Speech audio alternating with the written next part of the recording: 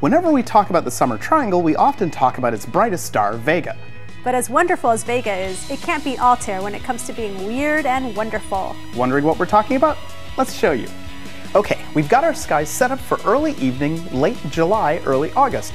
And if you look east, you'll see three bright stars that make up the points of the summer triangle. The brightest being Vega in Lyra the Harp, the second brightest Altair in Aquila the Eagle, and the third brightest Deneb marking the tail of Cygnus the Swan.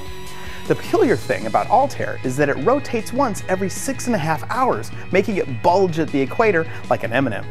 And while you're outside, if you look toward the west, you're going to see a beautiful triangular meeting of the red planet Mars, the ringed planet Saturn, and the dazzling blue star Spica.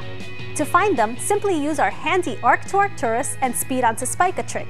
Keep, Keep looking, looking up. up.